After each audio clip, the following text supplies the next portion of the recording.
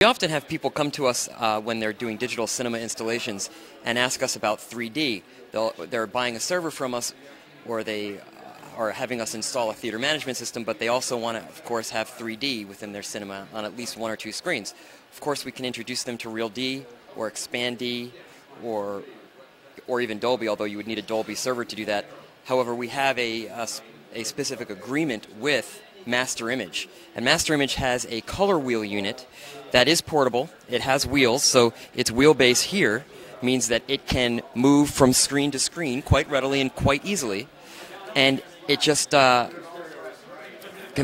slides up and down in front of the, the projector lens. So this color wheel, as you can see here, would slide up and down in front of the lens. And therefore, when you want 3D, it slides up.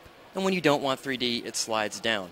Now, one of the benefits of this system, besides the fact that it's portable and mobile, is that it uses passive glasses, which are uh, less expensive than uh, active glasses that have shutters in them or uh, Dolby's glasses, which are very specific polarized glasses.